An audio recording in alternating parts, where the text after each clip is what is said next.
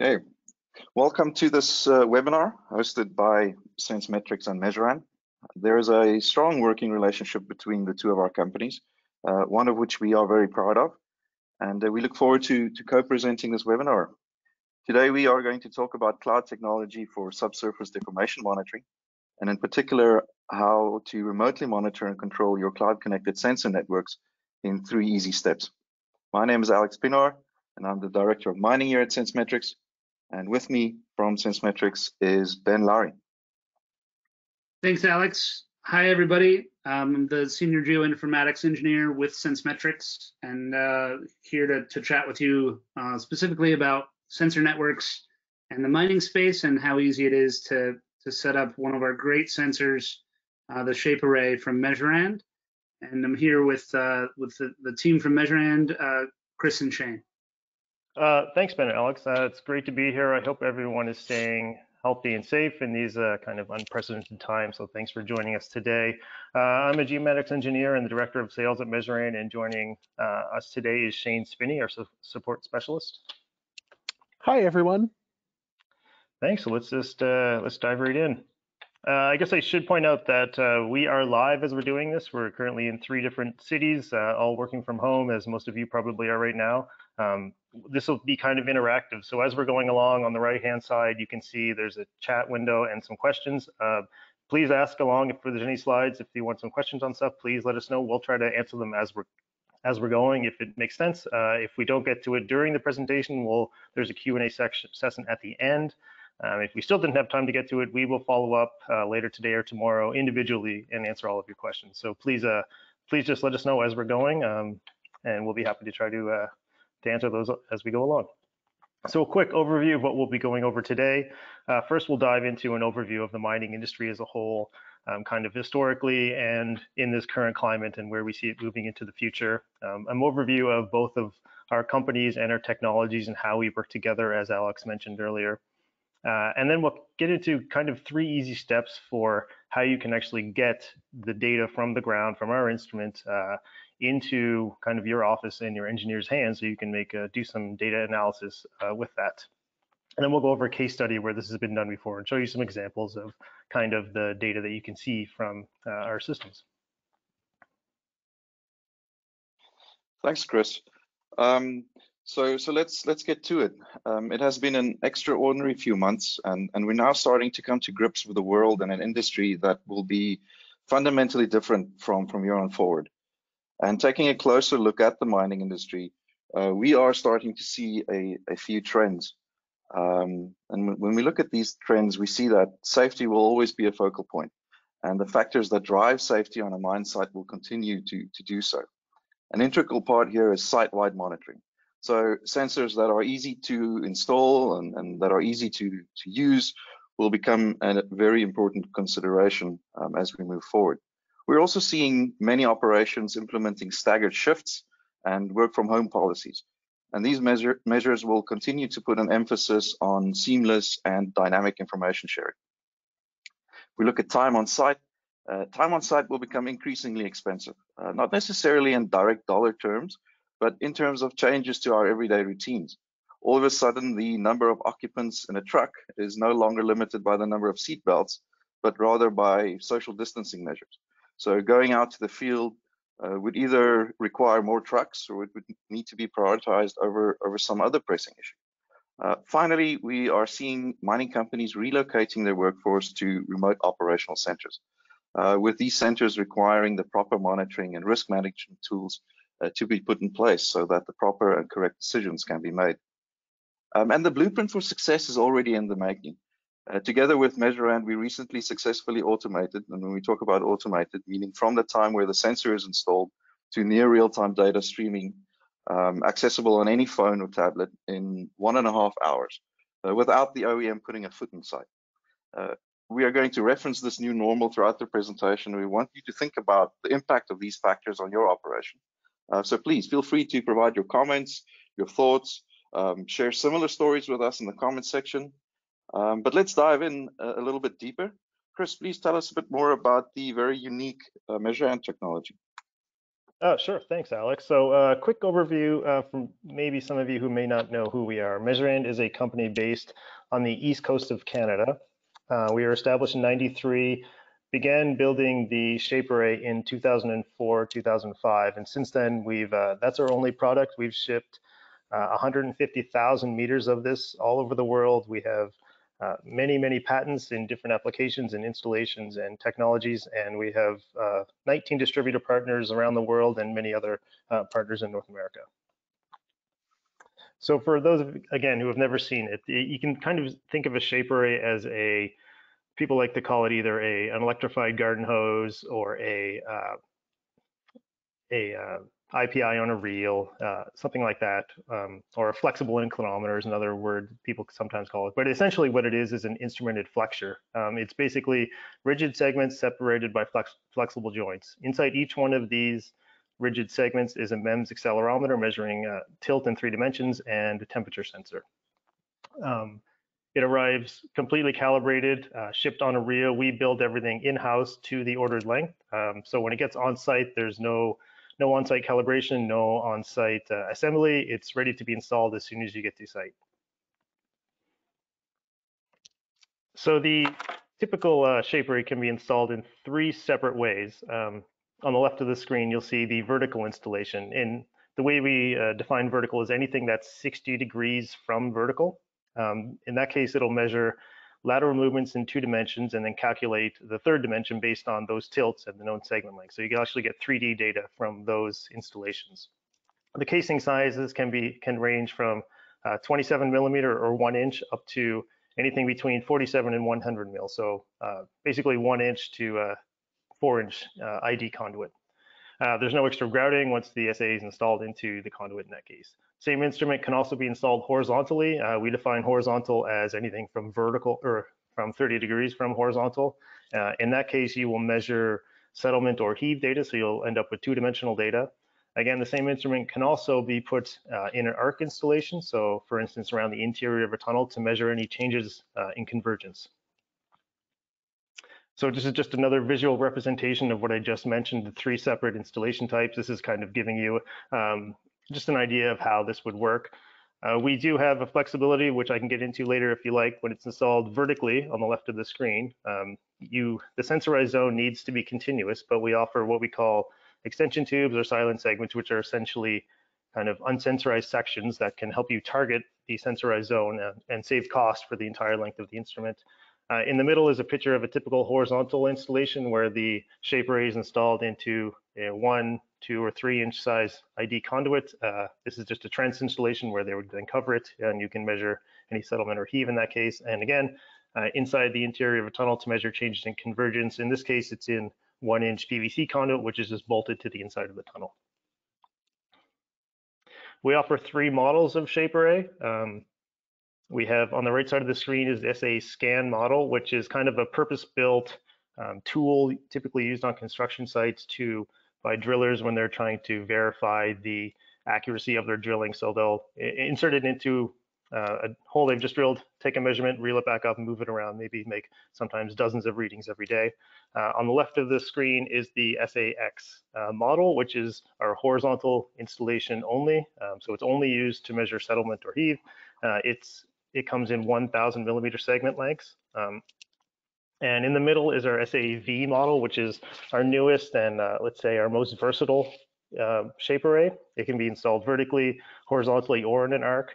And again, it can uh, it comes in 250 millimeter segments or 500 millimeter segments. Thanks, Chris. Um, so looking at the at the Sensemetric side of things here today, um, we have two offices in the United States one being in sunny San Diego, which is not so sunny at the moment, the other office being in Denver, Colorado. Uh, we have active projects with over 75 engineering and consulting firms, system integrators, government agencies, municipalities, and large enterprises that are currently using the Sensemetrics platform. We've established a network of resellers across the Americas. It's Canada, Mexico, Brazil, Chile, and Peru, as well as in Europe and in Australasia. Today, we are hosting over three 300 million real-time geotechnical observations um, on our on our platform in real time. So Sensemetrics provides an end-to-end -end solution that effortlessly connects sensor networks, monitoring workflows, and decision makers. Um, and in so doing, we are able to centralize sensor data into a single source of truth. And we provide real-time data insight across an entire organization. Ben, you've seen the very practical application and the corresponding results in terms of improved decision making and increased efficiency across a mine site. Absolutely, and and it really comes into this idea that in order to understand a mine site, you want to understand different aspects and use different sensors. Uh, in fact, there's a whole diversity of of sensors, of total stations and piezometers, flow meters that someone needs to understand their what's going on at their their project. Uh, so we typically are engaged with lots of different types of sensors in different applications. Uh, we primarily work in the slope stability aspect, of monitoring pit slopes, uh, pit movements on, on slope walls. Uh, we work in, in a dewatering monitoring, uh, where we're monitoring groundwater levels, pumping rates, uh, looking at pumping tests from a kind of hydrogeological standpoint and those sensors. Um, that crosses uh, over to, to tailings dam facilities, which have been, you know, a, very high visibility uh, monitoring uh, objective for lots of companies, mining companies out there, especially with these, um, uh, you know, tragic failures that we've seen in the last few years.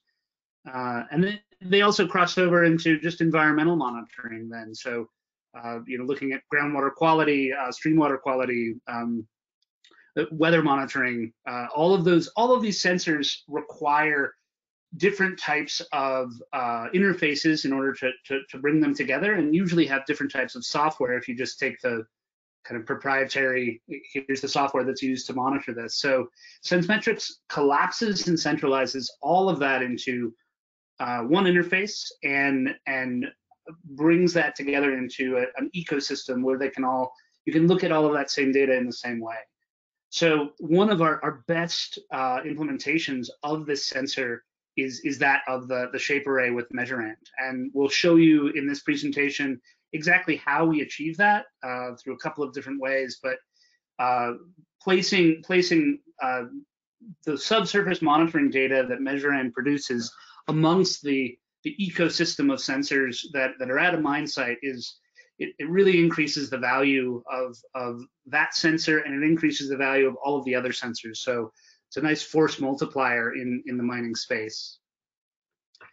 One of the other things that's important to, to talk about with SenseMetrics is just the security of, of the cloud and how we handle uh, cloud security and, and uh, cloud telemetry.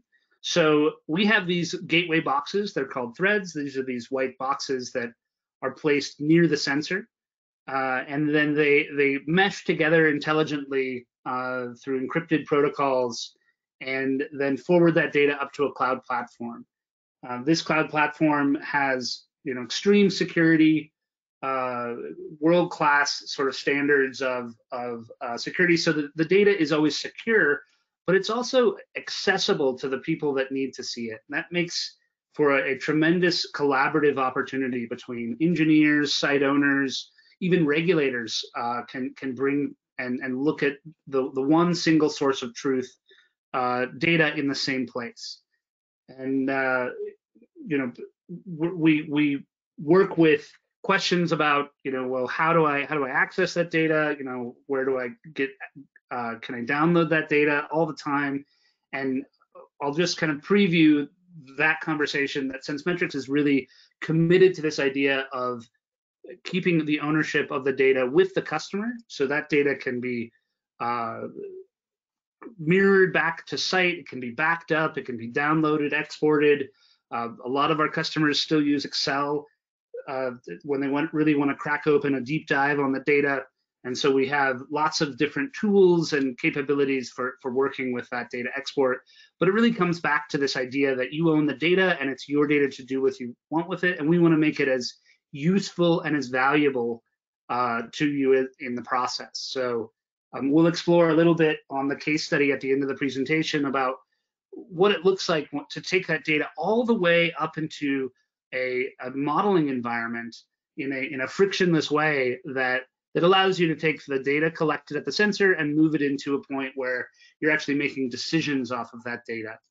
Uh, and so it's a it's a really important aspect of of creating value within uh, an organization and and driving that value. So, uh, Alex, I think you have a, a, a preview into the, those value drivers within an organization.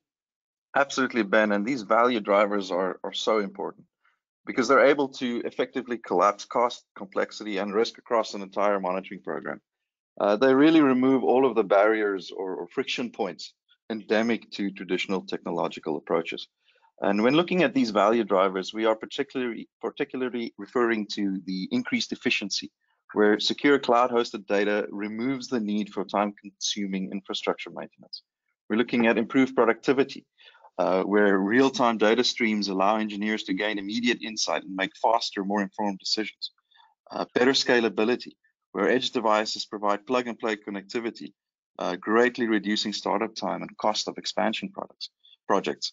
And of course, more flexibility, where information is quickly and securely shared, um, increasing data visibility across the organization, as well as to external stakeholders.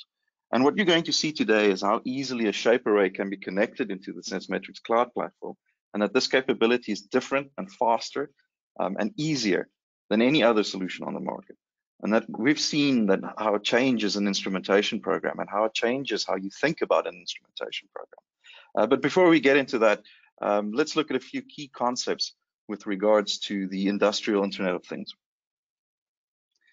Great. So, so there's a lot of buzzwords in this space. Uh, we we have there's a lot of kind of techie buzzwords that are worth uh, discussing because they they have some impact on exactly how we're we're working, especially in the, the shape array example with SenseMetrics. So, uh, industrial internet, internet of Things is, is shortened sometimes to IIoT.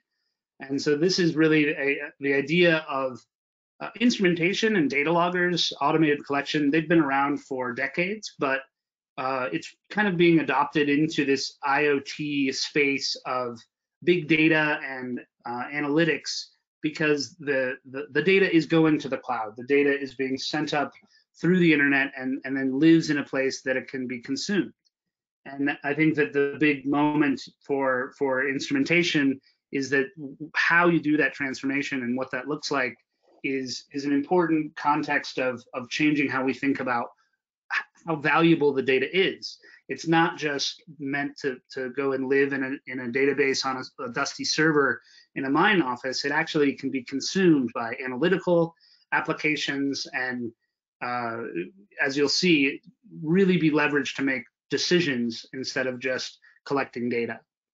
So uh, we talk about plug and play, uh, which is a, common term, but for in instrumentation, we all know that that's that's not that easy to do. Uh, we've achieved it in a really great way with uh, Measurand's shape array. That you know there are aspects of automating the configuration of a sensor that SenseMetrics and Measurand work very well together at achieving. So we'll walk you through what that looks like. And we're just trying to eliminate those manual uh, touch points of an integrator having to go in and you know set a serial number or upload calibration files or you know insert calibration constants. Uh, we want to try and eliminate as many steps as possible while still keeping a, a high definition uh, uh sensor uh, configuration available. Um, there's also this idea of edge computing. So I mentioned that we have these uh, these thread gateway devices and they, they live next to the sensor. So, so that's the concept of having, we, we basically have a computer at the edge of our sensor network. And we can do really interesting things with that, that computer. So not only can we read data in, it functions not just as a data logger, but a data streamer, but we can then do things with that data and interact with that sensor in interesting ways. So we'll explore that, uh, what that edge computing model looks like. Uh, cloud computing, again, this idea that all of the data is going up to a cloud database. Uh, that's not just a simple server that's hosted in the cloud. That's not just a, oh, I have a virtual machine that's in a, a server farm and it lives on a Windows device. It's in fact a, a, a suite of technologies that are meant to be scalable.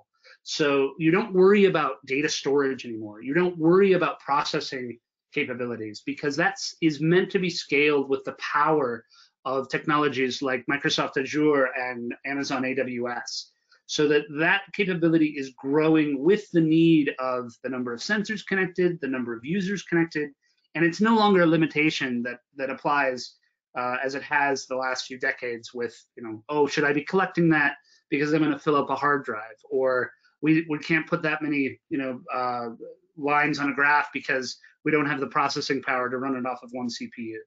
So really important to you know know that that's there are a lot of, of boundaries that are broken when you have a cloud computing model. And probably one of the most important ones, as I've talked about, the idea of sharing data and moving data in between different systems is that of an API. So the application programming interface, an API is a, a mechanism for different platforms to push data back and forth between each other. Uh, this is this is what allows uh, data to be subscribed to. You can you can send data automatically. You can uh, get access to real-time data in other applications besides just the SenseMetrics uh, uh, browser tab. It can be feeding into uh, groundwater modeling applications, limit equilibrium analysis. Uh, we have it feeding into you know larger real-time alerting reverse 911 type of systems. So there's all types of uh, connections here that are really important uh, to consider with with how that cloud data becomes useful. Um, so so those those are just some of those terms uh, of, of of art that are out there. But if you guys have any questions, please feel free to to uh, flag that somebody's you know used a, uh, a, word that you would like a definition to, and, and we'll address that in, in the questions as well.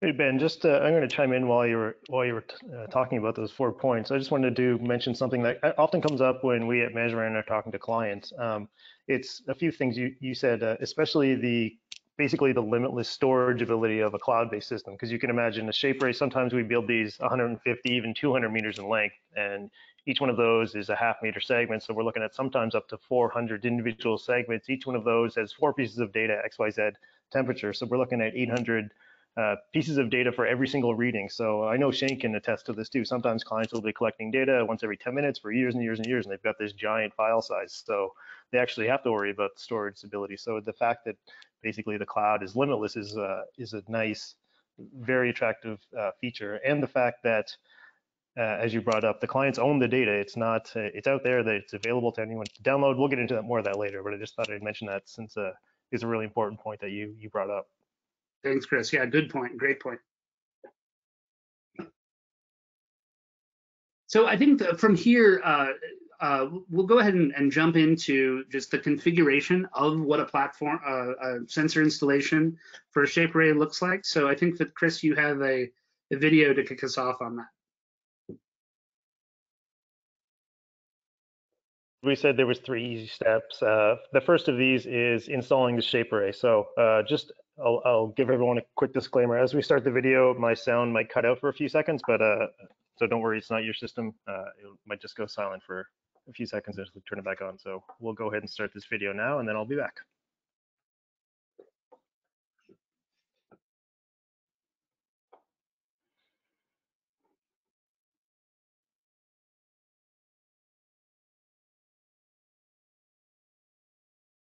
Okay, perfect.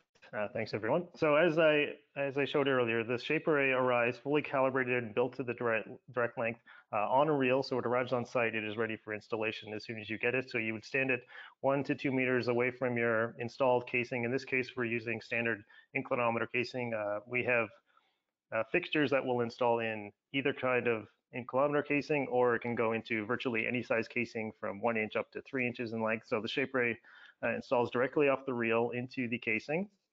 Uh, there's a spring at the top if you use anything that's bigger than the one inch conduit uh, that helps hold it in compression in place.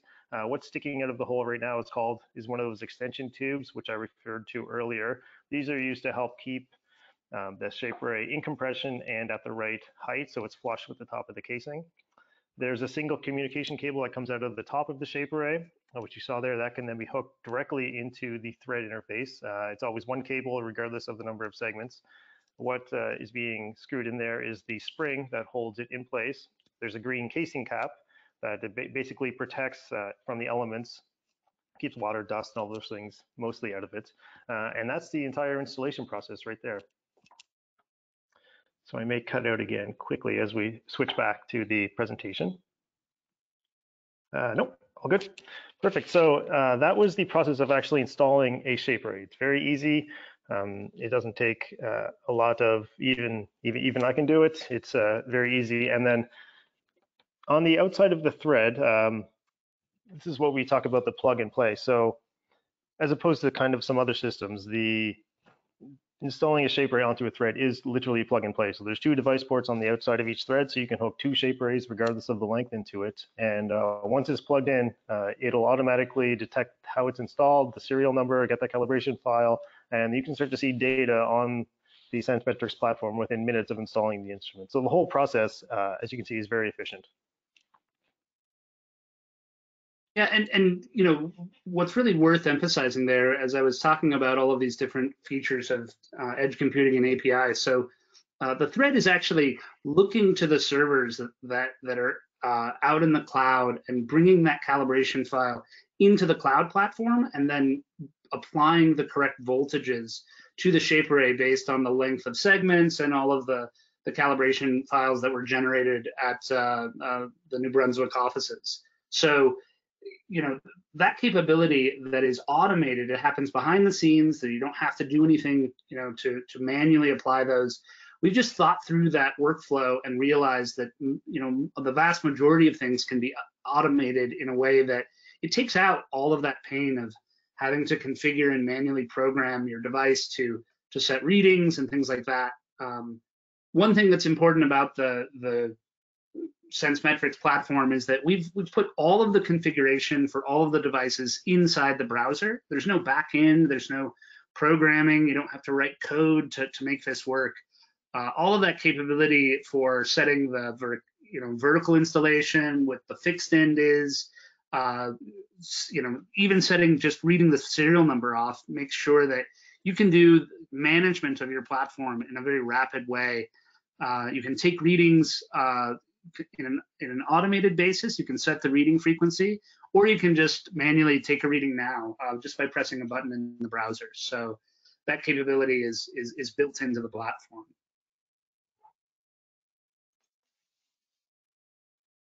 And if we look at the, the how we're actually uh, calculating, you know, the, working with the data, uh, this is an important point too. Uh, Chris, can you talk a little bit about just how you actually take the, the raw data and, and turn it into uh, information about the subsurface? Sure, um, that's a great point. I'll quickly back up. So when we calibrate the shape arrays in the office, it generates what the, obviously we call a calibration file, which is essentially custom for every shape array. Um, and what it essentially does is contains all the data that takes that raw data that's collected from the instrument and then turns that into usable engineering units. Um, so the data that comes out of each shape array uh, has to be run through this either converter or something, a piece of our software that will access this calibration file, which we, we've referred to a few times now, and then convert that data for you. This is, on other systems, this may be a manual process or at least a manual configuration at the start, but with um, with using threads, Sensemetrics and Measurand has spent many, many years perfecting this kind of plug and play solution. So once we generate that calibration file at Measurand, it's uploaded to an FTP server. Uh, the thread, as I mentioned, detects the serial number once it's plugged in, actually pulls that calibration file automatically so the user doesn't need to do anything, and then can start to automatically generate um, real deformation or shape data using that calibration file. So as Ben mentioned, you can see that kind of that real-time data on your phone or on your tablet within uh, within minutes of being installed. So all of this happens behind the scenes. The user experience is very seamless and very straightforward, and uh, I'm I'm quite happy with it. No, and, and we really like that side of it too. I've I've set up uh, systems um, with uh, much more kind of manual integrations, and you know the configuring data loggers and programming that it, it it takes a long time, uh, a lot of effort to to get up and going with a project, and you know to have to have a tablet at the drill hole site and and have the data streaming in in real time is a really satisfying moment. uh, that uh, we're we're very excited to be able to have uh, the shape array as part of our our portfolio of sensors that we can support uh, because it's it, it really is satisfying to see that real-time data right after the installation. Uh, I, wanted to just pause and uh, take a look at some of the questions that are coming through. Thank you all for for taking a look at uh, asking such good questions. Uh, I wanted to just mention um, some simple answers here. Uh, the shape array is is meant to be installed in a in a borehole casing. Um, so it does. It, it's not something that you can, can drive in like a driven piezometer. Um, but I guess Chris, do you want to talk about the the flexibility on that uh, the borehole casing and exactly how that uh, shape array will can can uh, use any any size of, of borehole casing? Uh, yeah, sure. Um, so the we have a patented um, we call it the cyclical installation. Um, I can follow up later and I can provide all of the details and images and how this may, may work. But essentially what it does is if you think of putting kind of flexible, kind of like a, anything with flexible joints into a larger conduit, it'll kind of zigzag its way down. Um, I mentioned during the installation video that it's held in compression. So it's capped at the bottom. So the bottom of the shaper will sit on the bottom of the casing. The top has a spring to hold it in compression and it will just kind of zigzag its way down in three dimensions our patented cyclical algorithm will actually look at the tilt of each of those individual segments and determine the position. And then from there, you can get millimeter accuracy of deformation of shape from that initial starting position. Um, what this allows us to do is that you can install this this algorithm will work in any size diameter casing, anything from um, actually we've actually installed into 25 millimeter ID casing before, anything up to 100 millimeter ID. That's what we've tested. Uh, that's what we know will give you that 1.5 millimeter level accuracy. So you're not tied to any type of casing. You can retrofit casings that have been um, drilled in way back 20, 30 years ago that haven't been used in 20 years. You can actually retrofit those with brand new SAAVs if you have that option. We've done that a few times, and actually those are collecting data on threads now that I think of it. But um, hopefully that answered the question. If you have any need any more info, please follow follow up with me, and I'll uh, I'll address these after. And just the other question that I see in here uh, from from Tony, uh, the idea of the third dimension um, being measured. So you know, just quickly the the MEMS accelerometers, they're always seeing the the acceleration from gravity, so they'll always see the the gravity uh, in the z direction and then the other two axes are you know the A and B. But I think that you saw the installation during the installation of the sensor, uh, marking the azimuth of the the direction that the sensor was installed. There's a, a reference X mark on the shape array, and uh, so so referencing it into the typical A and B axes of the the installation is really important. Um, uh, as you'll see in, in this part of the presentation about the sense SenseMetrics visualization side, I think that you'll see some of those uh, uh, applications of uh, you know exactly how to, to view the data. Um, this is where it really uh, comes into its own here. So um, I think we can move into that and then uh, come back to the, to the questions um, in the Q&A period. So, so with regard to that, uh, when when you get the the raw data, it's processed through the shape arrays algorithm, and it outputs a position of the the actual each segment uh, with with the position in the hole, um, and then that can be displayed in the SenseMetrics visualization. So what you end up getting is this view where you see the the deformation over time, the movements of that those sensors inside the borehole. So if you have a, a landslide or uh, tailings consolidation or pit wall movement, block movement, you're going to see at a very high fidelity the the movement on a segment by segment basis. And you can look at that a couple of different ways. As I mentioned, if you insert the the azimuth of that X mark into the to the SenseMetrics software, you can start to visualize typical delta X, delta Y uh, positions. You can look at it in whatever units you would like. Uh, you can you can you know decide how how long of a time period you want to look. So usually there's a uh, after drilling a borehole and installing the shape array, there's a period of days where it's setting up, maybe the grout around the, the borehole is in, install uh, consolidating or curing. Um, you can actually, you know, get an idea of, of what that cure looks like, how straight your borehole was, uh, you know, those early installation phases where you are taking data right away. It's, it's valuable to have that information about how your hole was installed. And then you have this, this long-term uh, measurement device where you can then, you know, track that movement over time and, and start to, to get insights about, you know, do I have certain segments moving? Uh, do I are there soft zones that we're worried about? Uh, what are how fast are they moving?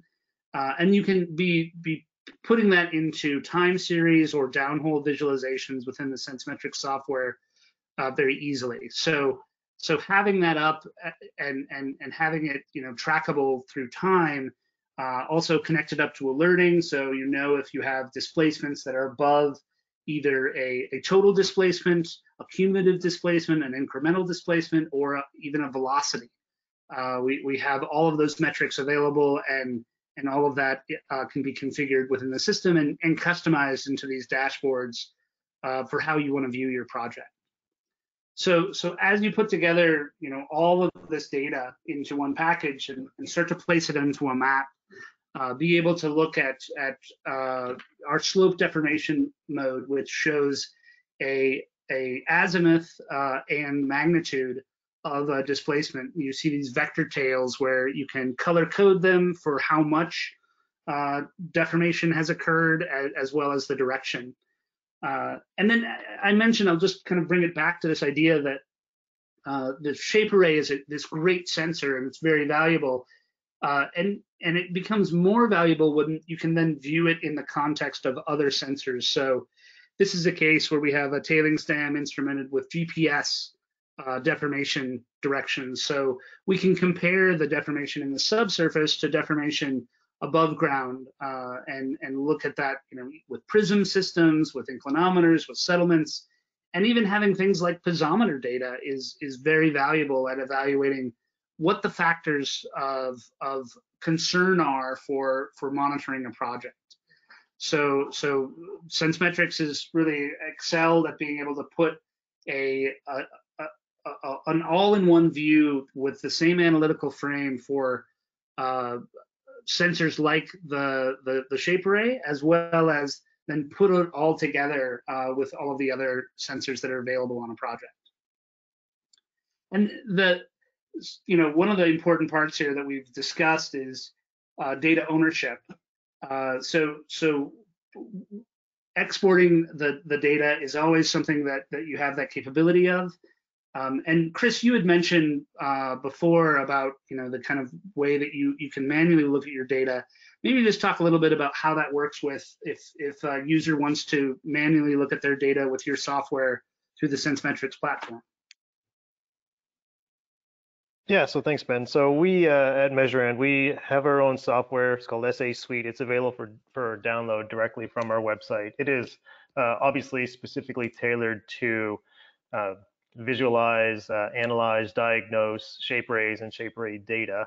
Um, so just because you may be using the uh, SenseMetrics platform doesn't mean you still can't utilize our software. So you can, what a great feature is you can go into like go into the SenseMetrics platform, you can see the data, you can look at um, how things may be behaving. And then if you want to do some really deep diagnosis of the data, you can uh, download the DAT file, import that into SAA Suite, and you can continue working uh, on your PC like you normally would. So I like, I really like to promote that option to clients when they're wondering about how they can uh, dig into the data a little bit deeper if they need to. Yeah, and and you know it's, it's a really important aspect for us too on just you know maintaining that sort of data chain of custody uh, that that it's traceable and you can analyze it in whatever software you want, and that we we keep the raw data whenever possible. Um, one of the questions that came through is this idea of like where wh where the data is accessible uh, and and how it's connected. Um, uh, let me just see here. I think the question was, is it possible to download the data from the thread? Um, we actually, so we, we just released, a, uh, in the process of releasing a mobile app that allows for uh, configuration of, of data uh, at the at the location, but Um, we've actually, by design, uh, made sure that that you can't just connect to the thread and download it uh, onto a USB drive. We actually want to remove that model for for working. It's not a traditional data logger. Uh, threads can collect data and uh, they will store it locally on on their system uh, until they have a connection to the cloud. That can be established a couple of different ways. I actually know there's a couple of people on the call right now who have helped us achieve that telemetry uh, to the cloud application um, through either uh, external radios when the, the cell networks are down or uh, even satellite modems uh, we have as a capability. So um, that's by design because we want to make sure that the data goes into the to the cloud application with you know that, that it's has high integrity. There's no way to change it. There's no uh, you know question of of what the source the source of truth is with the data. Um, but but all of this is designed you know one of the things that we do when we work with a project is uh, we look at the application we look at the data going uh, moving around a, a, site and we design a, a project that for redundant pathways uh, up to the cloud so uh, there might be a few gateways. Um, each thread itself, uh, there's a question about uh, if it's directly connected to the cloud or if it's a central hub. Each thread can function as both. So it can function as an end node that doesn't have any cell phone coverage. It can function as a repeater, or it can function as a gateway that is pushing the data to the cloud. And the fact that you don't have to, you know, buy different parts or configure different uh, systems just makes it easier on the installation the vast majority of our, our installs, the, the threads are directly connected to the cloud and just forwarding their data uh, with a, a, single single route. But it's nice to have a mesh network that uh, can can uh, intelligently figure out the best way out of the cloud. So when you lose a, a site, uh, maybe it's blocked, maybe there's a, a situation where you lose the main gateway, the the mesh auto reconfigures itself and uh, is able to to uh, ferry that that data back up to the cloud securely, and also give an alert if if you don't have data uh, for some period of time to to investigate further and establish that telemetry. Alex, uh, I, I, think that you had some some comments on uh, the alerting capabilities of the platform. Yeah, absolutely, Ben. Great conversation. I think uh, you know accessibility and flexibility with regards to your data is so important. But data becomes even more useful when you're able to take action. Uh, so with our alerting functionality, you are able to automatically receive real-time notifications uh, containing calculation metrics and sensor status uh, when a sensor when sensor data reaches a user-defined uh, threshold. Uh, these alerts can easily be labeled, they can be grouped, they can be prioritized, and they're easily searchable um, in the event that you're looking for a particular alert. Um, so, so alerts can be set for multiple sensors and, and for multiple trigger criteria, as you can see in the bottom right hand there of that screen capture. And because we have that thread edge computing device, that the computer out in the field, we actually can start to do interesting things based on these alerts.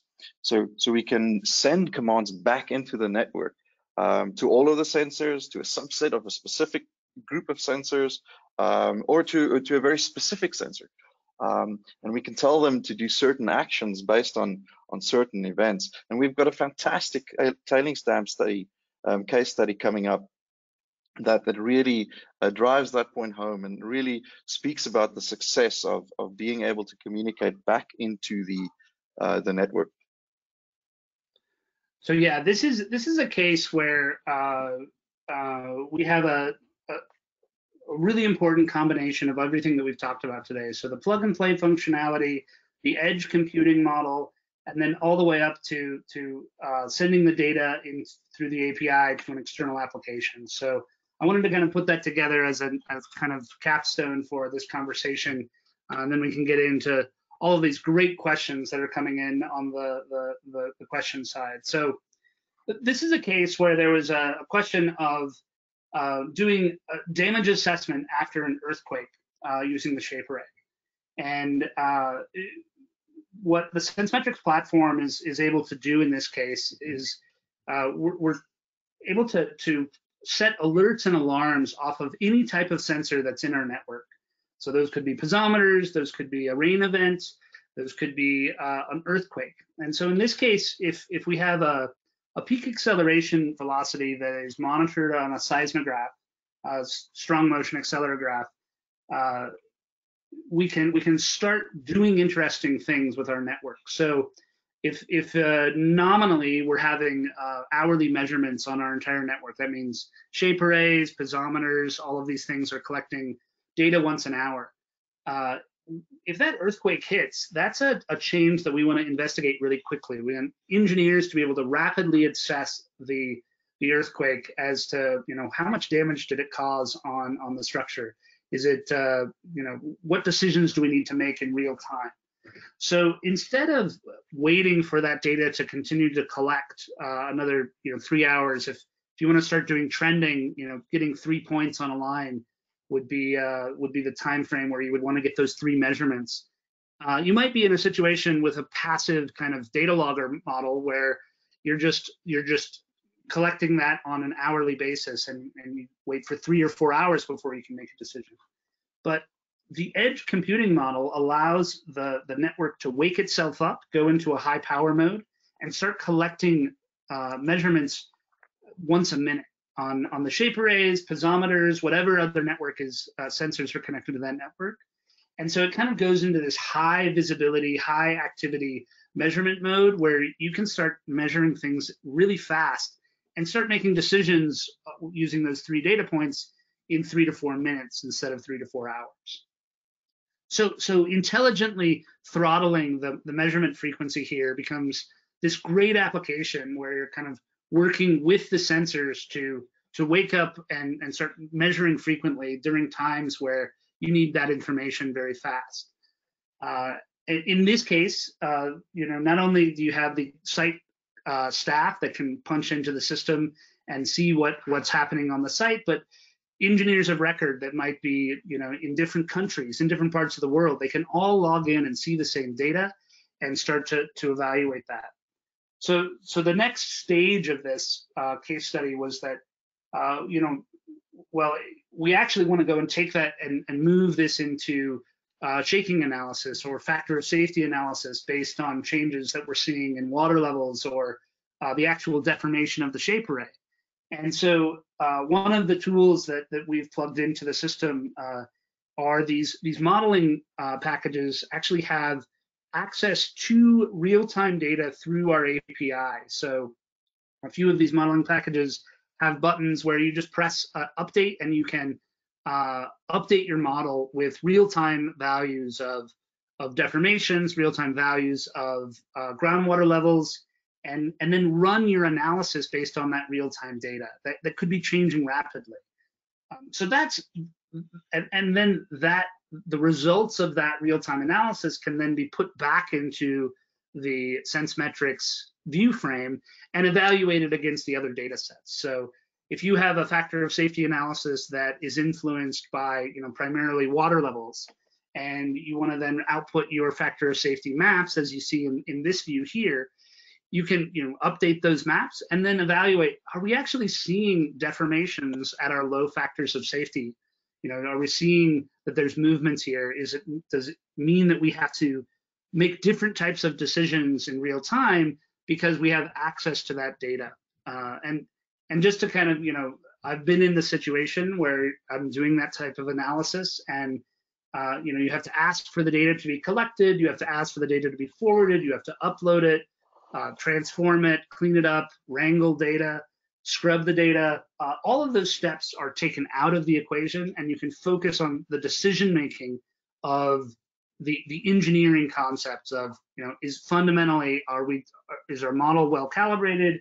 Is our, is our model performing the, the task of, of evaluating the factor of safety effectively and not on the, the data wrangling and the, the, the data transformation steps. So this is it's it really encapsulates the idea of what SenseMetrics and Measurand have tried to achieve with their collaboration here is that we want to get the data in people's hands as quickly as possible to an actionable intelligence to decision making as, as quickly and efficiently as possible.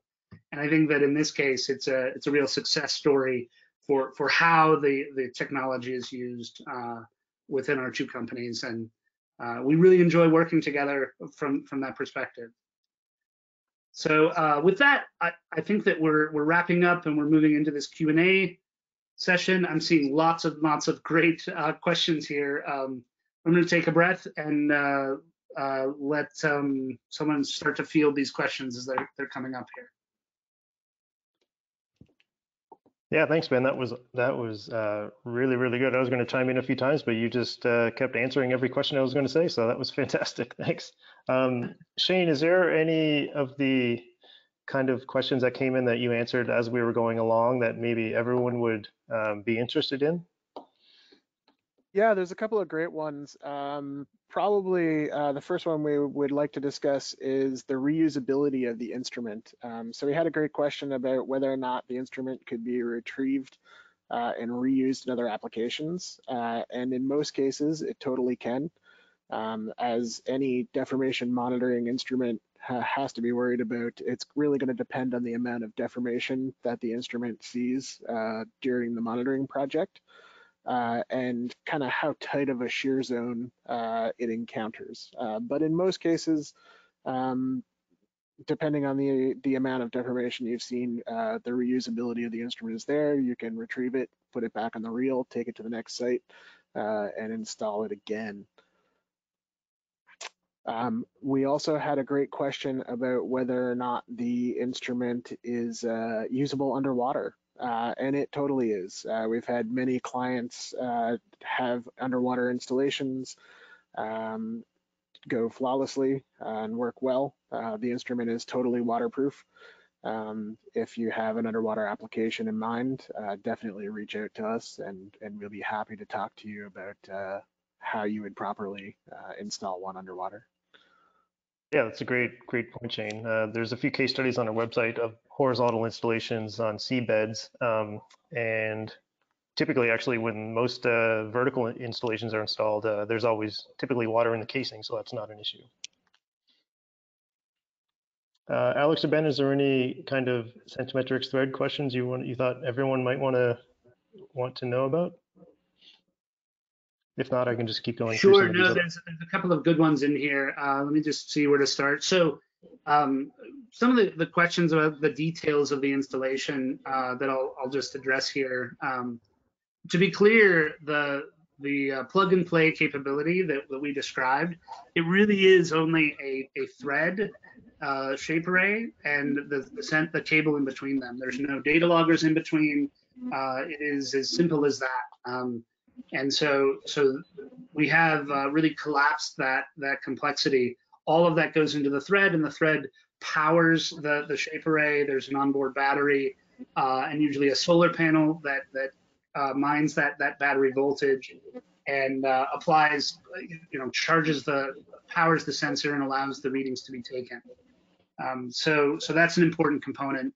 Uh, there's one question about uh, verticality in here. Uh, I think that I understand that the question is, you know, if you actually have a borehole that drifts uh, from from strictly vertical, uh, the way that the the technology works is that you, you, know you can both sense what that that drift is, what that deviation from the vertical is through the positioning uh, metric and SenseMetrics, but you can also then baseline yourself and say, okay, so from this date, I want to I want to watch the deformation that has occurred from this date, uh, rather than it being from a strictly vertical uh, consideration. So, um, you know, one of the the uh, you know questions of uh, just monitoring your your movement, um, it always can be referenced to a specific baseline date.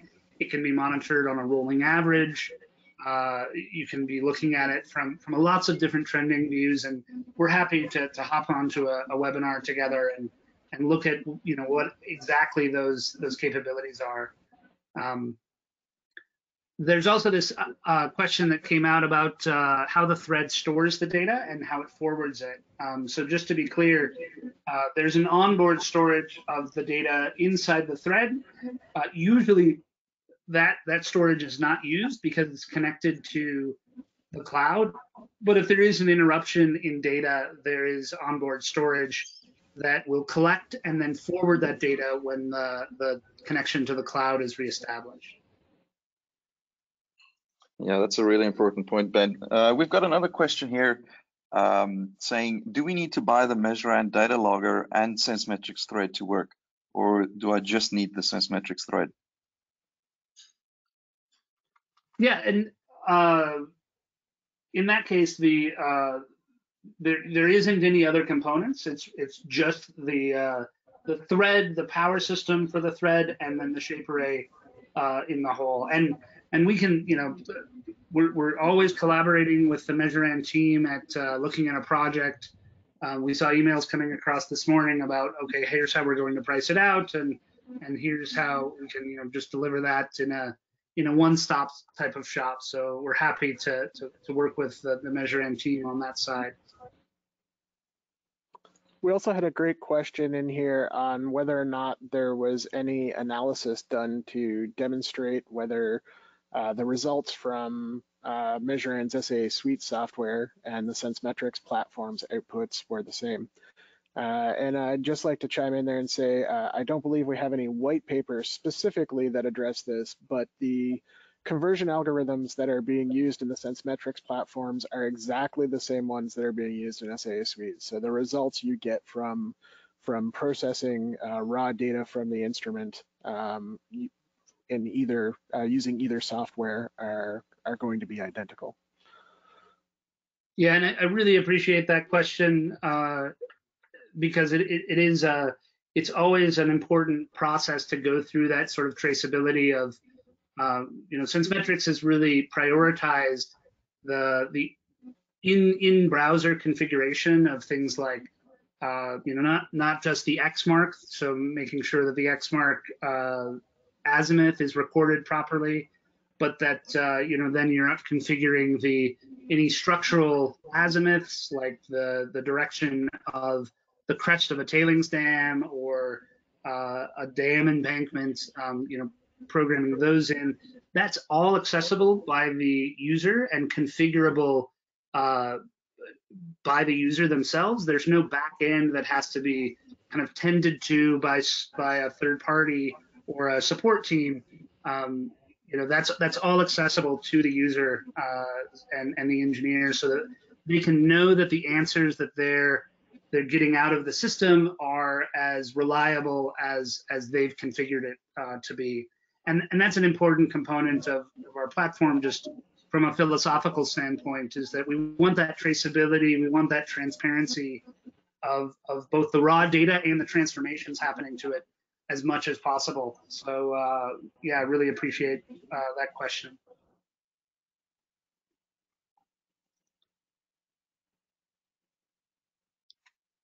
uh, had another question about the accuracy of the shape array.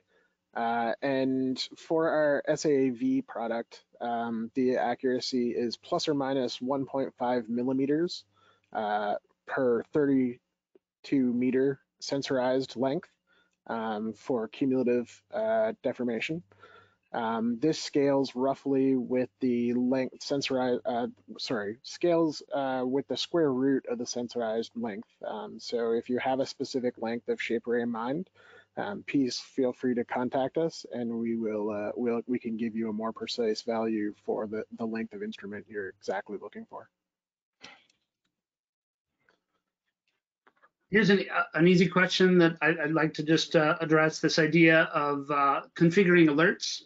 Um, so depending on the connectivity of your, your device, uh, you know, we're, we're often standing at the, the installation site and configuring the device uh, directly there. We do have some options that we're introducing that allows the mobile device to make that even easier. And so, you know, generally, you know, being able to to be on the phone, uh, configuring it on an iPad, configuring it on a laptop, and and having an entire team look at it with you, whether they're remote or or local, it allows for a lot of flexibility that uh, you know you can configure that correctly and that you're not changing the raw data. So if you ever make a mistake you can you can change uh, those configurations. And actually through our our global event management system uh, you actually can log those events on how when you've changed the configuration what you've changed them from and to and it just allows for a really great record of the the the sensor met- metadata and how how you're uh, uh, reporting those calculations.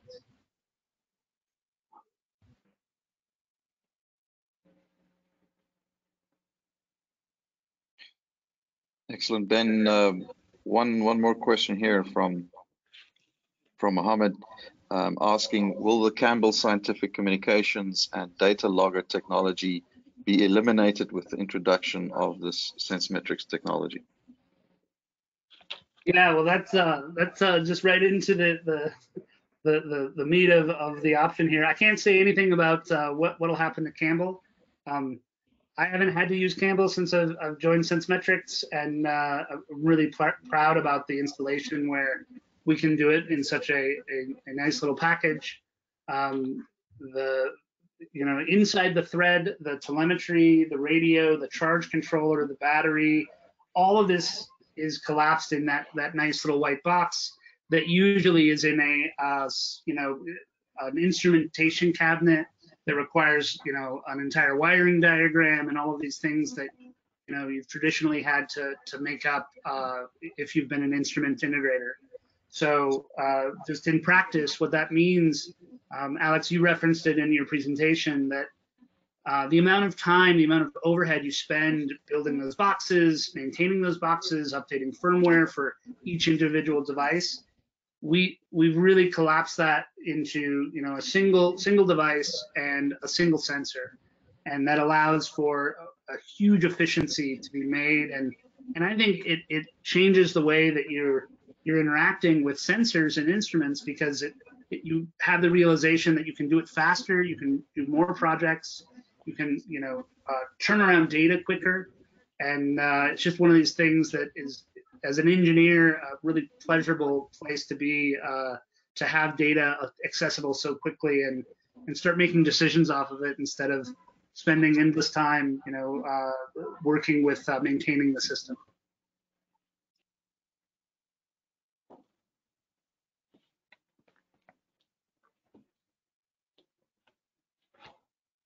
Okay, so I think that uh, we're, we're about wrapped up on the Q and A. Um, I want to just say that uh, you know appreciate everybody joining the call. Uh, we're, we're accessible on on LinkedIn. Our websites are are at uh, www.sensemetrics.com and also at Measurand. Uh, really appreciate it. Please reach out to us if you have any questions about projects. Um, uh, really appreciate uh, the chance to, to present with our good friends at Measurand. Uh, so, so Chris and, and Shane, thank you very much for, for the chance to, to get in front of you guys and for everyone who attended the attended the webinar. Yeah, seconded on our side. Thanks a lot, guys. Uh, and to everyone who asked questions, uh, if we didn't get to it during the presentation, we will follow up uh, with you.